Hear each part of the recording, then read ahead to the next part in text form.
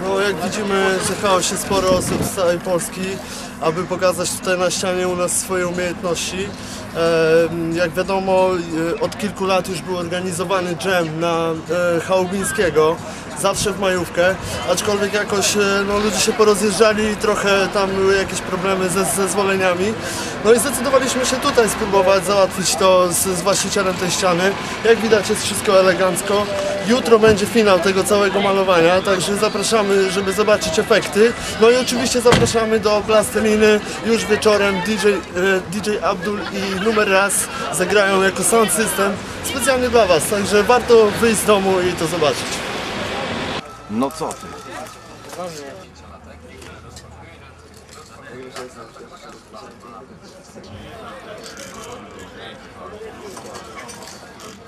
Thank you.